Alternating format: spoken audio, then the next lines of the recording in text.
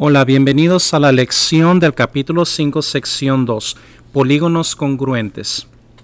Empecemos aquí en la página 128 y aquí vamos a repasar un poco sobre lo que aprendimos en el capítulo 4. en el capítulo 4 eh, aprendimos de cuatro transformaciones. La primera fue la translación, la segunda fue la reflexión, la tercera fue la rotación y por cuarto la dilatación. Cuando usamos uno o más transformaciones, si usamos estas tres de aquí, por ejemplo, aquí tendremos una transformación. Transformación de congruencia. Pero en el momento en el que usamos una combinación de cualquiera de estas tres y una dilatación, eso se convierte en una, una transformación de semejanza.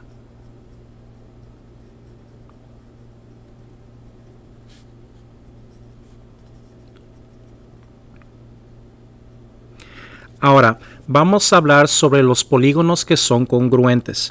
Cuando los polígonos son congruentes, eso significa que hay una secuencia de transformaciones que incluye una translación, una reflexión o una rotación en cualquier orden y nuestros polígonos van a ser básicamente congruentes.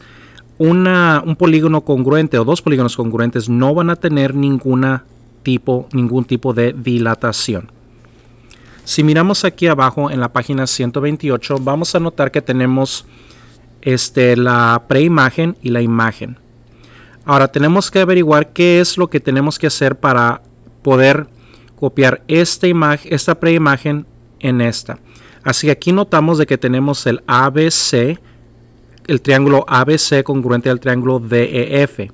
A se aparece en la parte de arriba y D en la parte de abajo. Así que aquí tenemos que hacer un tipo de reflexión. Si reflejamos estas coordenadas sobre el, el axis de X, tendríamos lo siguiente. B se quedaría donde está. C se quedaría en el punto de aquí y A se quedaría en este punto de aquí. Así que aquí tendríamos A', C' y B' sería el mismo. Ahora, si notamos aquí, esta imagen no se copió a esta. Lo que tenemos que hacer ahora es una translación de tres unidades a la derecha. Así que aquí tenemos, tuvimos que hacer una reflexión. Ah, lo va con doble, va con X. Los maestros de matemáticas no sabemos escribir bien. Una reflexión sobre el eje eje de X y una translación de tres unidades a la derecha.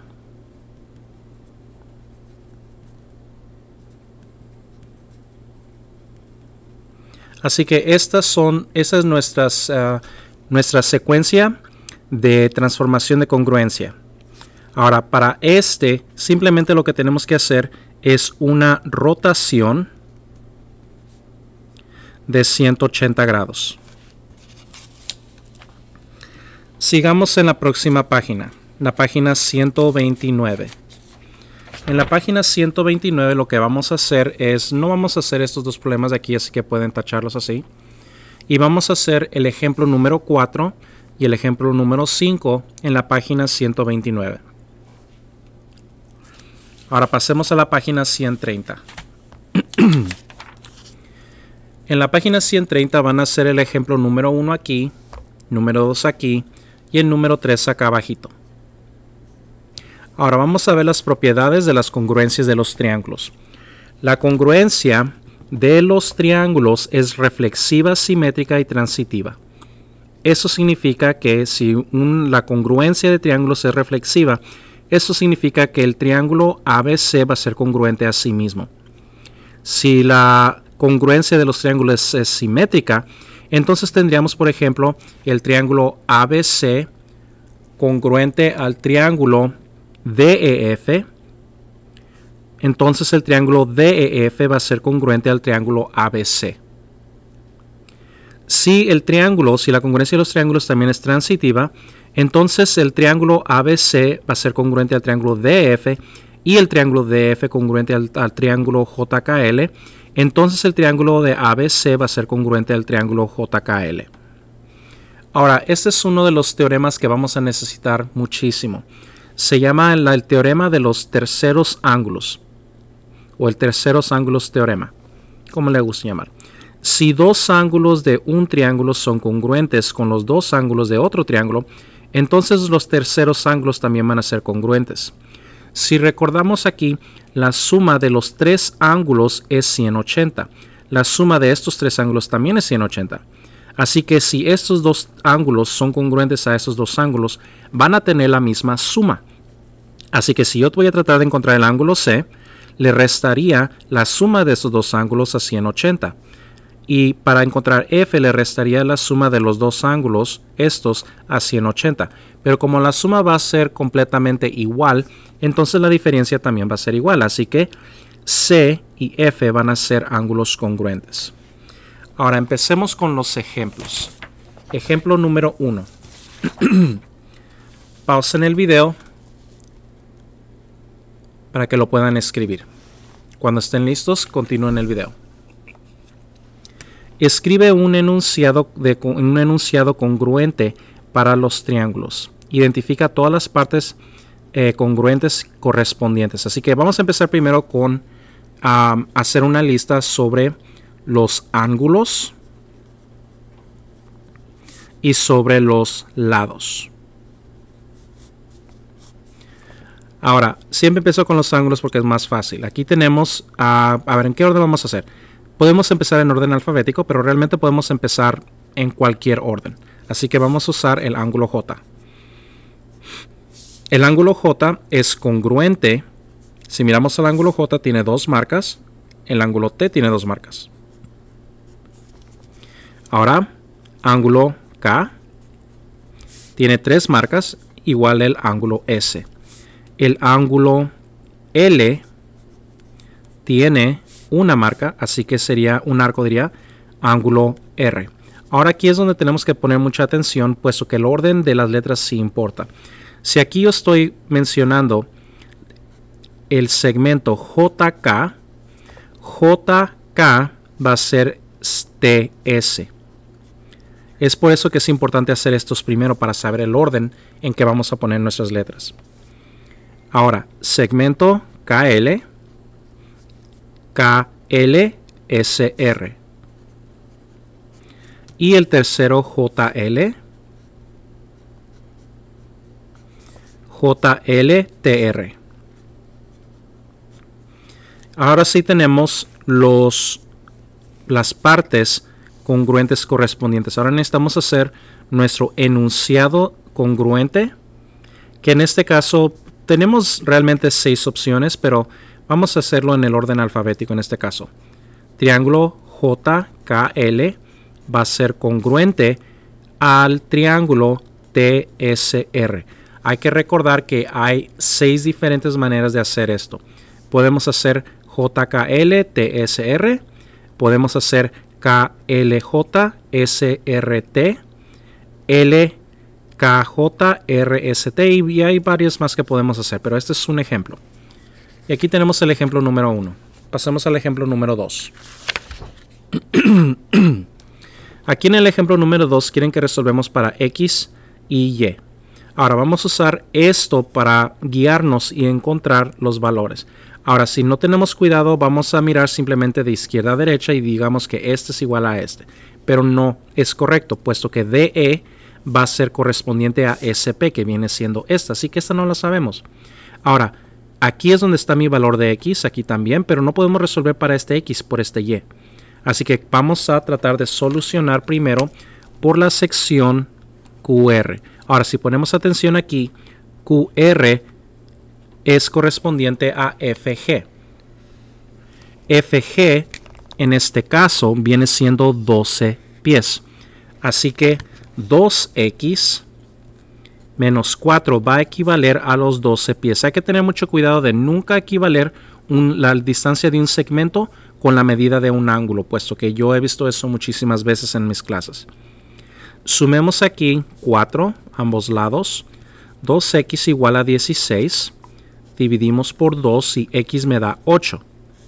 Ahora, con ese valor de 8 vamos a sustituirlo aquí, que sería 6y más 8.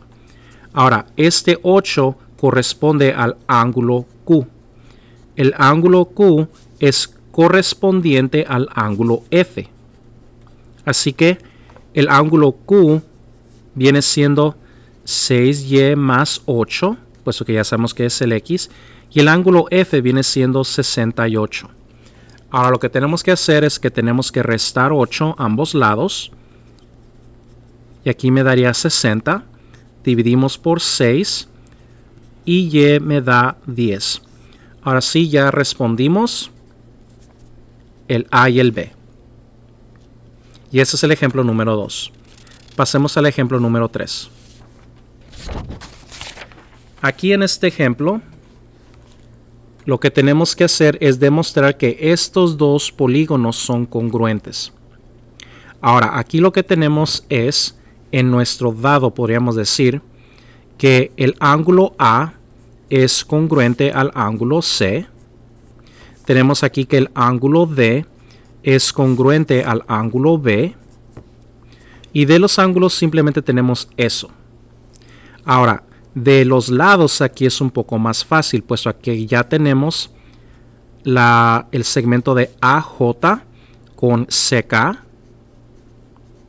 También tenemos el segmento de BJ, BJ con DK. Tenemos también AD congruente a CB.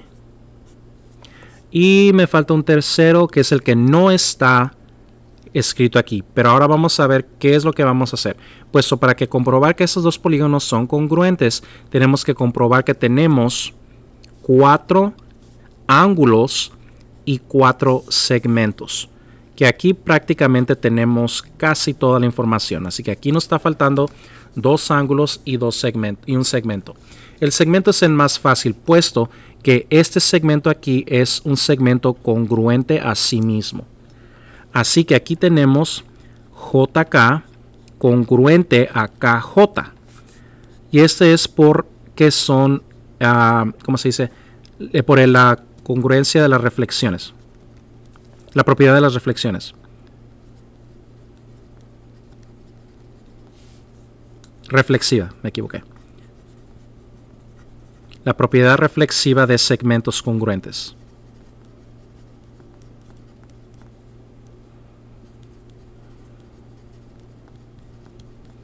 que nos dice que un segmento es congruente a sí mismo. Ahora, aquí es donde tenemos que recordar un poco sobre lo que aprendimos en el capítulo 3. Aquí tenemos AB y DC que son perpendiculares a la línea BC. Entonces esto significará que AB va a ser paralelo con DC o CD, como gusten. Y por el mismo motivo, estos dos líneas de aquí van a ser perpendiculares a AB y por eso también van a ser paralelas. Así que AD paralelo con BC. Y el motivo por el cual son paralelos es por el teorema de las líneas perpendiculares a un transversal. ¿Ok? Así que esto es por el teorema de las líneas perpendiculares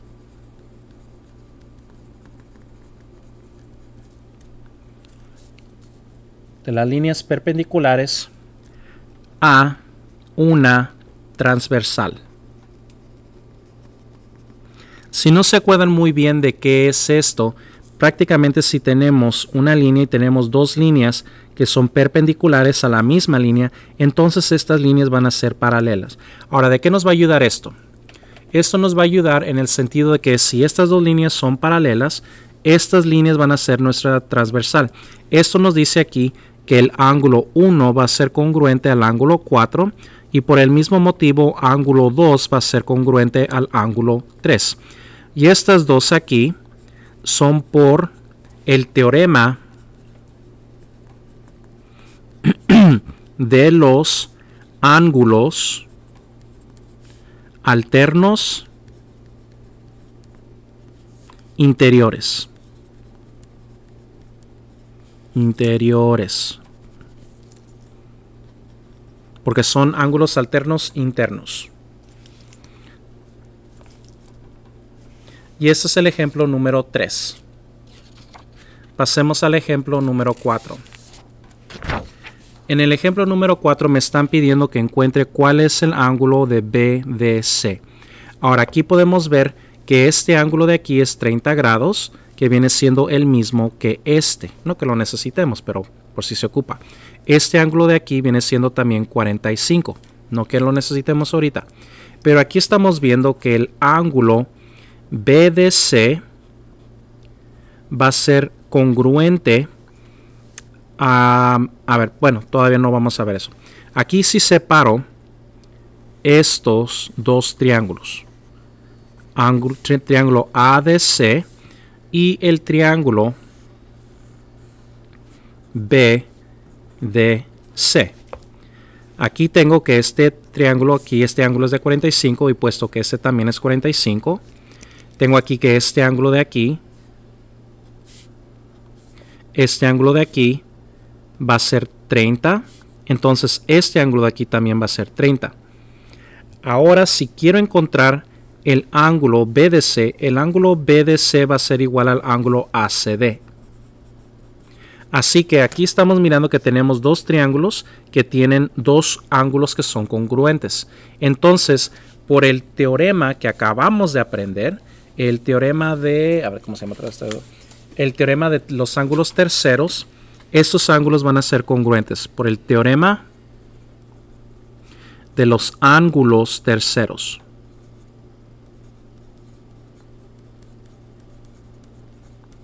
Entonces, si encontramos este ángulo, encontramos este ángulo.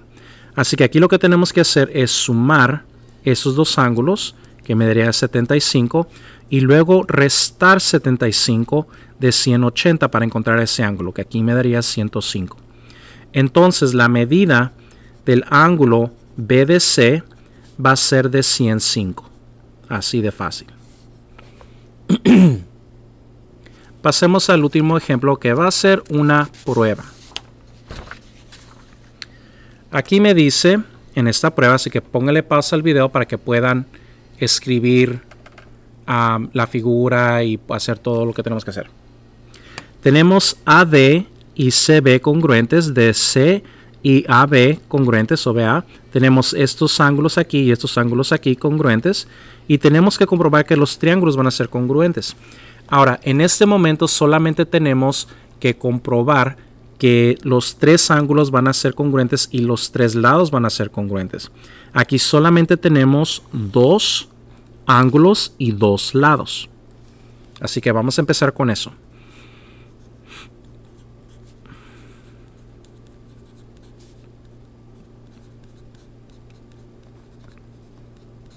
Todo esto está en nuestro dado. Un poquito más para acá. ACD congruente a CAB. No me va a dar espacio aquí, menos que escriba chiquito. CAD congruente a ángulo ACB. Ah, no me dio espacio. Déjenlo escribo un poquito más pequeño para que me quepa. O pónganlo en dos, no importa. Ángulo ACD ángulo CAB, ángulo CAD, congruente al ángulo ACB. Y este viene siendo nuestro dado.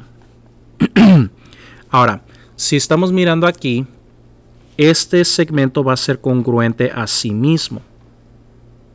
Así que AC va a ser congruente a AC.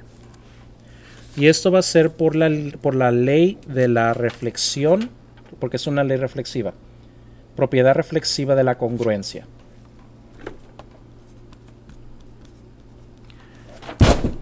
Propiedad reflexiva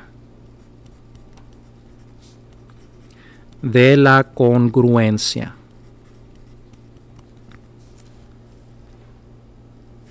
Ahora, ángulo D y ángulo B van a ser congruentes por el teorema del ángulo tercero.